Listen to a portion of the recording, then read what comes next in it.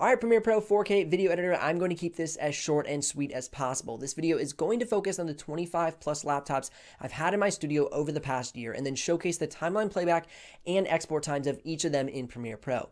With this video, you'll be able to pick the fastest laptop for Premiere Pro of your choice. Now, if you're new to the channel, my name is Ben G Kaiser. This is where you're going to find the best tech and tools for creative professionals. And if this video brings you value at any point, then ever so gently press down on that like button as this will push it out to more video editors like yourself looking for for the fastest laptop for Premiere Pro, and I appreciate that a lot. That really makes a difference. Let's get rocking.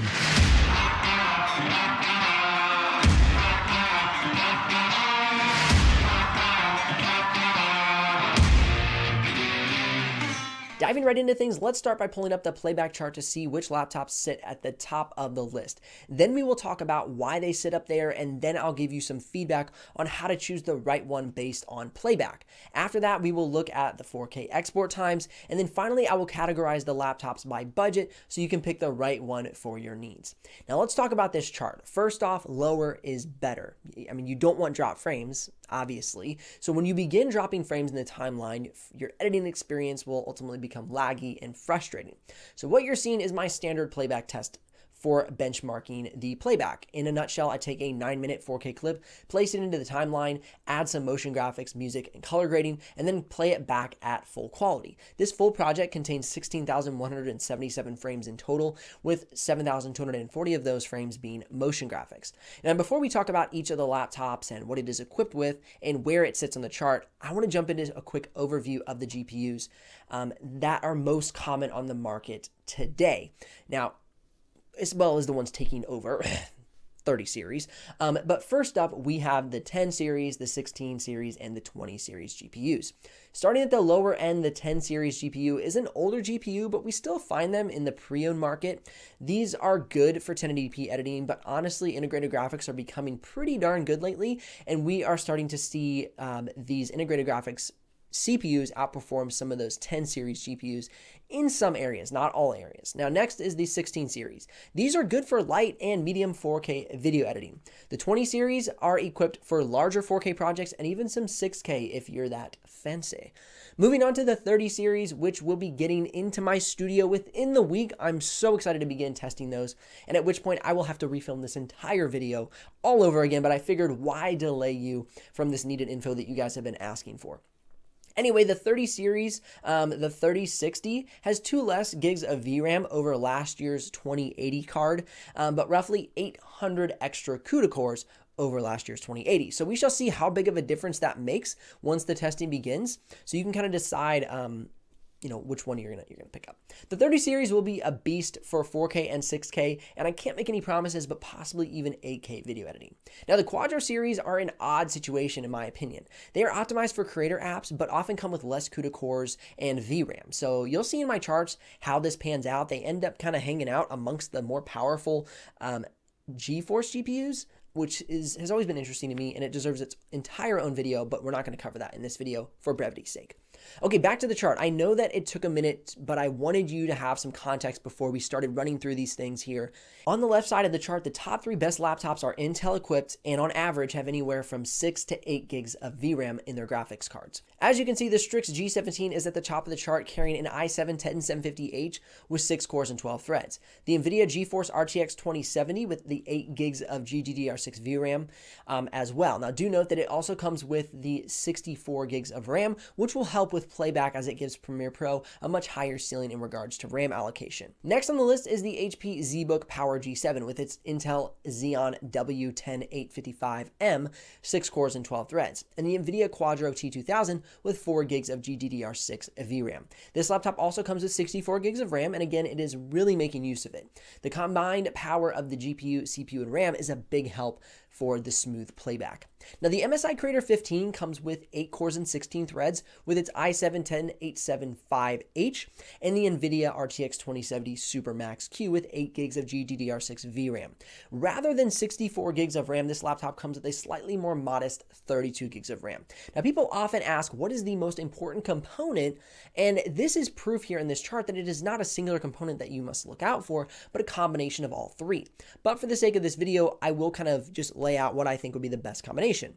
I would say a mid-range i7 processor, 6 to 8 gigs of VRAM and 32 to 64 gigs of RAM will get you optimal smooth playback in the timeline for 4K video editing. Now within the top results, we see a mix of i7 and i9 processors with 6 gigs and 8 gigs of VRAM uh, in the graphics cards. As we move to the right on the chart, we have our first Ryzen equipped laptop and it is the Asus Zephyrus G14. Now, this laptop comes with the Ryzen 9 4900HS with the NVIDIA GeForce RTX 2060 Max-Q, which comes with 6 gigs of GDDR6 VRAM.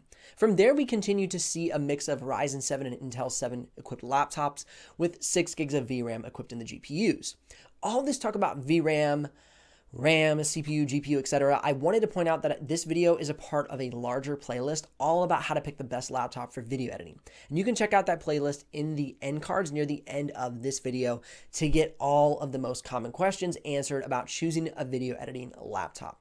Now, after the HP Omen, we start to get into the 4 gig equipped graphics cards and move away from the i7 processors and get into the i5 processors, as well as some U series processors which come with integrated graphics rather than dedicated graphics cards. Again, more info about all those differences in that playlist I just mentioned. Now, I will reiterate before moving on to the export times portion of this video for optimal 4K editing playback in the timeline of Premiere Pro, not taking into consideration your budget constraints optimal playback. I would say a mid-ranged i7 processor, 6 to 8 gigs of VRAM in the GPU, and then 32 to 64 gigs of RAM. Now, if you're on a $1,000 to $1,400 budget, then the optimal setup is going to be a Ryzen 7 4800H or 5800H, or an Intel i7 10750H, or the new 11th gen variant of that Intel processor a 6 gig card like the GTX 1660 Ti, and then 16 gigs of RAM. Now, if this video is bringing you some value, like I mentioned earlier, gently press down on that like button as that helps it out a ton to reach more people just like yourself, and that is a huge blessing to me. All right, now that we have covered playback, let's take a look at the export times. For this test, I take a 9 minute 4K clip, place it into the timeline in Premiere Pro, and then export it out at full quality 4K YouTube settings. Now, keep in mind that the export times are a combination of work conducted between the CPU and the GPU. Okay, so I'm not going to spend as much time discussing the export times because, as you can see, there is a lot of discrepancy here. The Big Daddy 6 and 8 gig VRAM graphics cards are leading the charts once again, but from there it gets a little tossy. Okay, so export times have as much to do with how well uh, optimized each laptop is in regards to the components it houses as much as the components themselves. So if a laptop has poor ventilation, it may thermal throttle, which will cause a decrease in export performance, which is why we see the Acer Nitro 5 with its Ryzen 5 4600H and GTX 1650 GPU, outperforming a technically more powerful Lenovo Legion 5i, for example. Now, for my top two recommendations in each category, remember, these are just a good starting point. There, there, there, there are many other great laptops on the market, but I wanted to keep this short and sweet as I mentioned in the beginning of this video. Now, if you're editing 1080p and occasional 4K, I would pick up the HP Spectre X360 or the Acer Nitro 5. For moderate 4K video editing, I would check out the HP Omen or the Lenovo Legion 5 or 5i. For aggressive 4K and 6K video editing, then consider the Asus ROG Strix G17, the Gigabyte Aero series, the Asus Zephyrus G14, the MSI Creator 15, or the HP ZBook power. Okay, that list was more than two, but there are a handful of great laptops in that final category, and I didn't want any to go overlooked. Now, curious about the exact pricing and availability of each of these laptops, you can head down in the description below and click one of those links. Now, if you do make a purchase, we'll get a small commission, but at no extra cost to you. That's what keeps this channel alive and the helpful content coming your way. Lastly, I wanted to point out that if you want more info about choosing the best laptop, like I mentioned, you can click or tap the screen over here for that playlist, and each of the laptops that are mentioned in this video have full dedicated reviews, so you can head on over to my channel channel and check those out if you're interested. Until next time, keep editing, keep designing, keep creating. My name is Ben G Kaiser, and I'll see you here in the next video.